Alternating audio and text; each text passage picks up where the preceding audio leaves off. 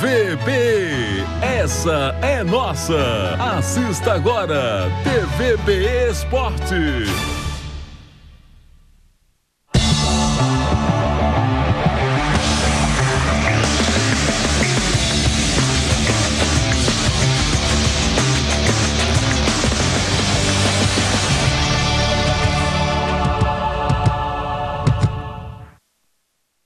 Alô, você, amigo do esporte. Muito bom dia, seja bem-vindo a essa edição de terça-feira, hoje é dia 23.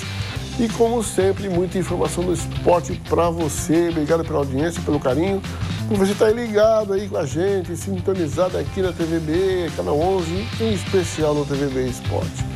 E ontem teve gols pela Série A e o Corinthians venceu. Vamos ver aí, pode soltar. Para trás!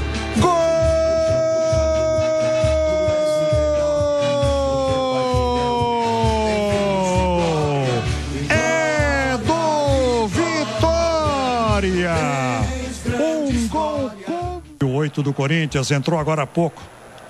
Voltou para o segundo tempo. Marlone bateu! Gol!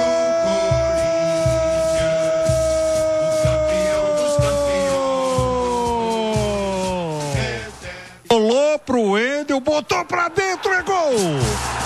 Gol!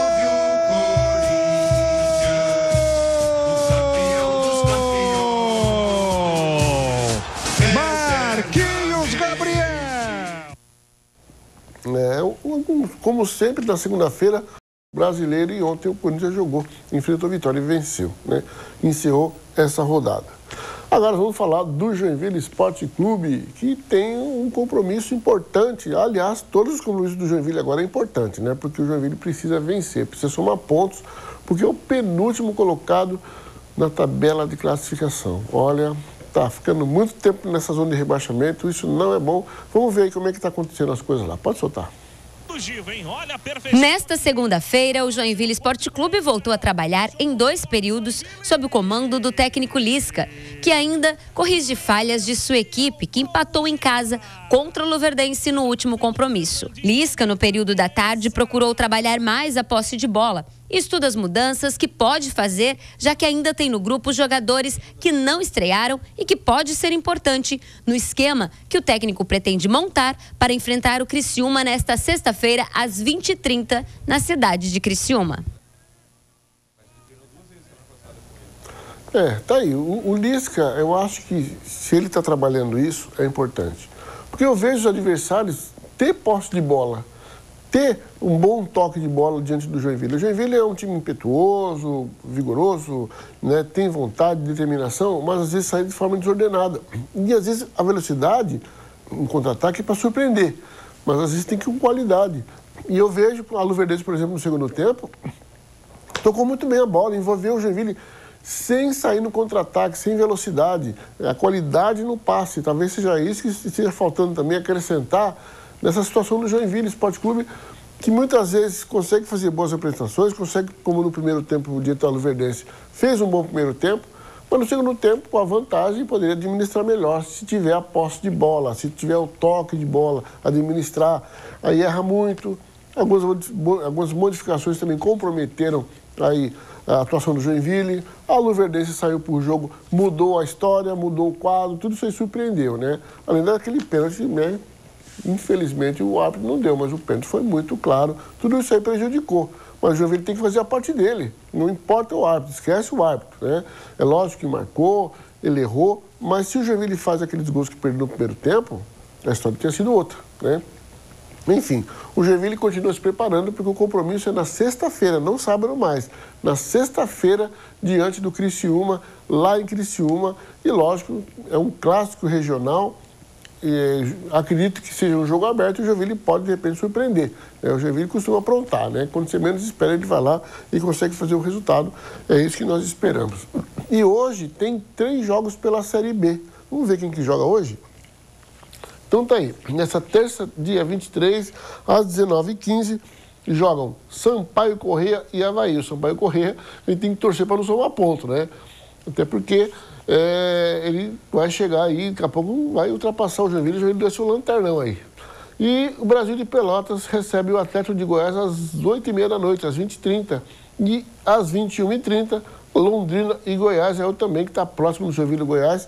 A gente tem que sempre torcer para esses times não somarem pontos, ficar ali né, pertinho para que o Joinville tenha né, possibilidade de ultrapassar a pontuação e sair dessa zona incômoda, da zona de rebaixamento. Né? Tá todo mundo preocupado, todo mundo com o pé atrás, porque o Joinville ainda não conseguiu, né, não conseguiu dar aquele arranque, né? E teve gosto também pela Série C. Vamos ver aí, pode soltar.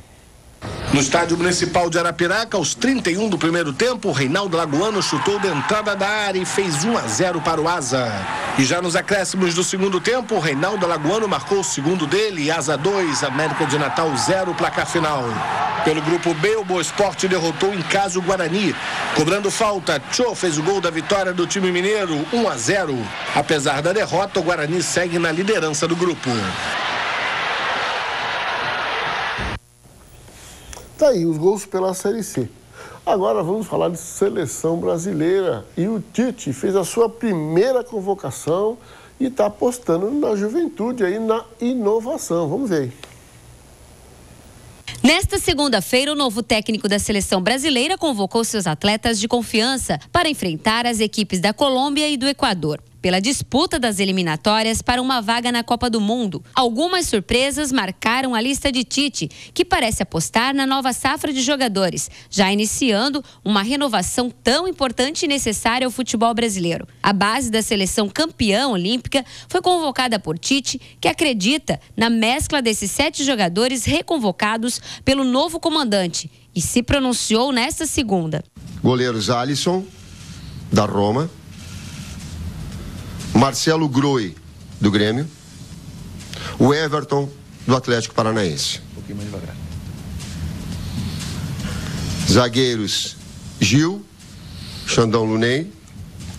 Marquinhos, Paris Saint-Germain. Miranda, Inter de Milão. Rodrigo Caio, São Paulo. Laterais Daniel Alves, Juventus. Fagner, Corinthians. Felipe Luiz, Atlético de Madrid. Marcelo, Real Madrid. Meio-campistas: Casemiro, Real Madrid. Juliano, Zenit. Lucas Lima, Santos. Paulinho, Guanzu, e aí eu não sei a pronúncia na sequência. Felipe Coutinho do Liverpool. Rafael Carioca, Atlético Mineiro. Renato Augusto, Beijing. Também segue aí daquele, daquela dificuldade de pronúncia. William do Chelsea. Com um, eu quero fazer só uma, uma observação em relação ao William.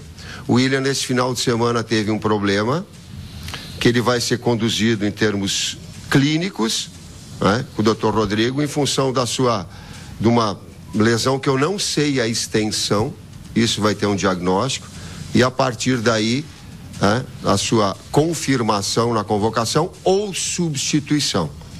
Né, nós estamos acompanhando, sendo sabedores dessa, dessa situação também.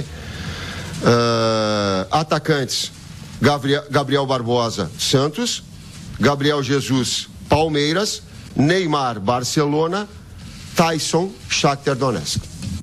Tite é para muitos o técnico que a seleção precisava. Porém, é esperar para ver, já que a pressão aumentou sobre Tite após a vitória dos meninos do Brasil na Olimpíada.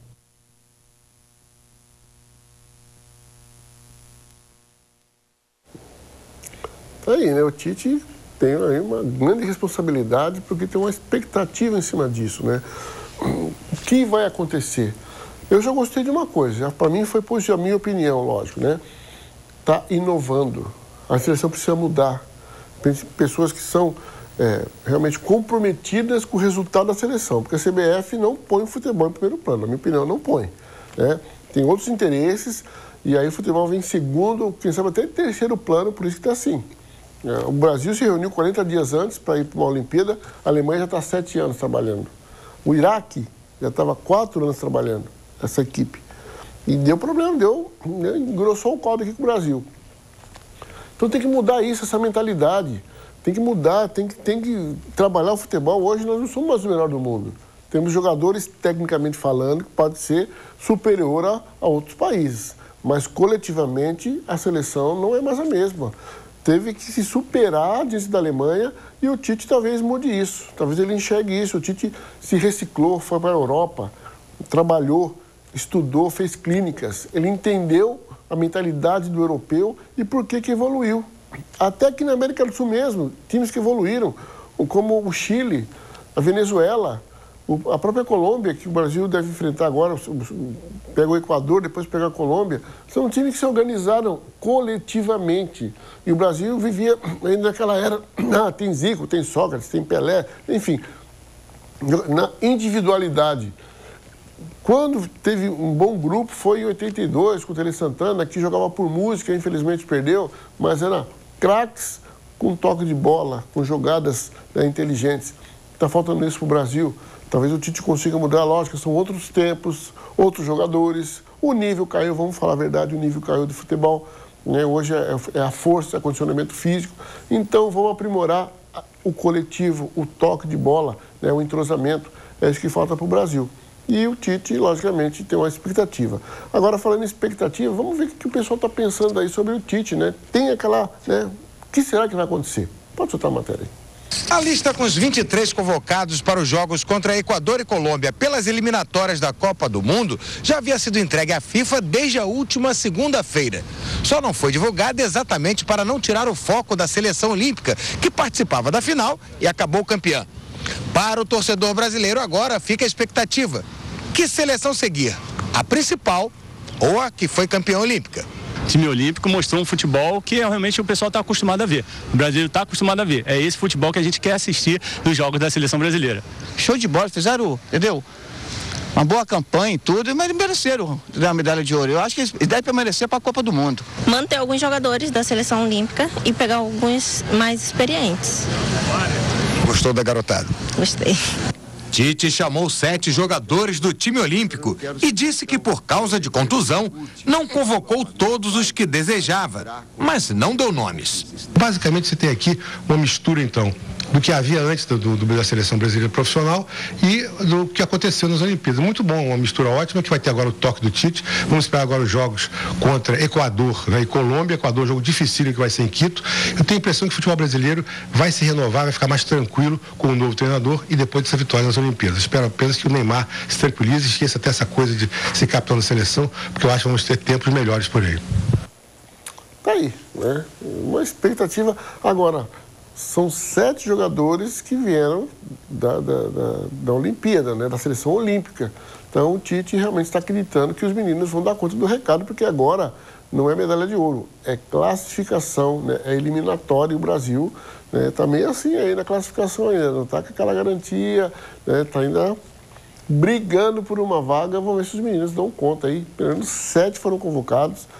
Eu entendo que é o princípio de uma renovação e tem jogador aí que tinha cadeira cativa e olha, eu acho que vai dançar. Eu vou fazer aquele intervalo bem rapidinho, é bem rapidinho mesmo. Eu volto já já que eu tenho mais assuntos do esporte para você, não saia daí.